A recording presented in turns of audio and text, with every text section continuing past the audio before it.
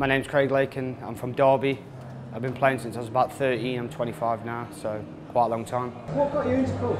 I just played a lot when I was younger in the pubs and stuff, and luckily for me, I was playing for money at a young age in clubs and stuff, and I was used to playing in front of big crowds and noisy atmospheres, playing events like this where it's a great atmosphere every time.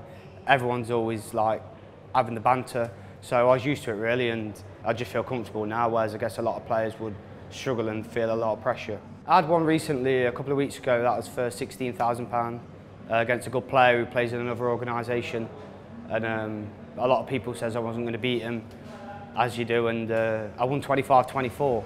I was ahead all the way and I never thought I was going to lose and then next minute I was 24-23 down and I had med in my hands and I thought oh no but luckily I managed to clear up the last two so. Like, why is the Golden Ball, why do you enjoy being here? It's just a great event.